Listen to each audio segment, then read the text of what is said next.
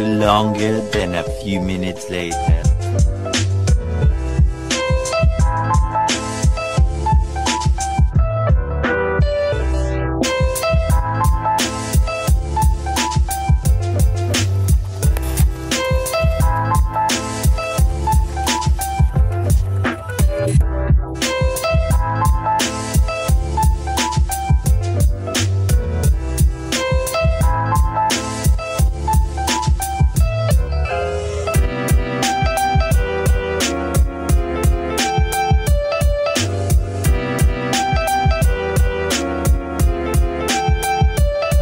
More moments later.